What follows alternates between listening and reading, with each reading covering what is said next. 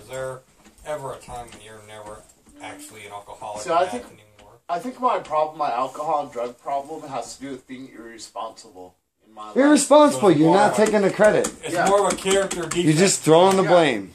You're saying, okay, I'm a victim. I'll always be a victim. Right. I'm an alcoholic. I always continue to get ran over. Right. I'll always be told what to do. so where did I'll always never be able to fix my problems. Right. I'll never get out of this situation Yeah, I alive. I Well, you can't really. because I can't manage my own life. I can't like- manage my own Yeah, life. I need like somebody to run me bullshit, through the steps of life. Yeah, it's totally okay? bullshit. Because I'm going to continue to use an excuse to perpetuate an excuse. And you can't figure out why by saying, when you say, I am something, when you say, I am terrible, you become terrible. When you say, I am fantastic, even though you may be just having one of those days where you're like, oh, God, I just had a fantastic day. And you know when you have that because your body tells you, just like it does when, you know, you have to do any normal function the body tells you to do, like blink or, you know, you can't keep your eyes open for too long because you got to blink all the dust out.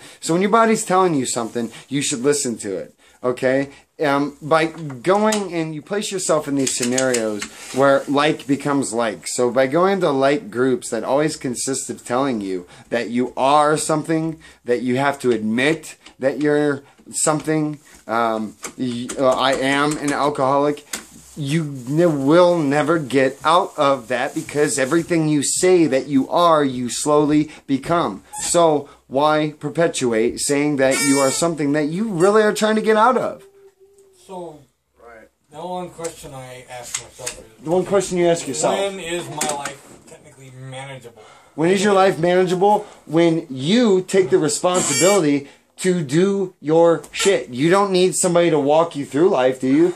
Do I need to walk you? Do I need to walk you through how to use a spoon and a fork, or open a door, or flick on a light switch, or use your?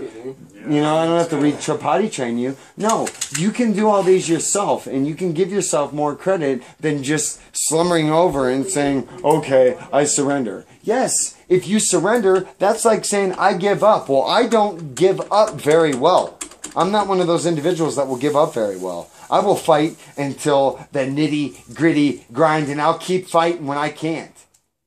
So, if you don't know how to walk in your own shoes in your own life, I don't know what the fuck to tell you. Hmm, that makes sense. That makes sense.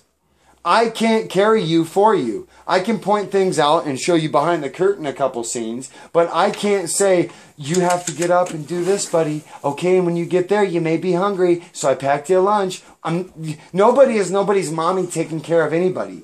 Okay? You get to a certain age, you're a man, you grow up, and you fucking start not blaming everything for the way why you are and naming some disease that is a fucking just cult scam bullshit. Hey man. What? Hi. Hi. How are you doing tonight? Good. Me too. Trying to go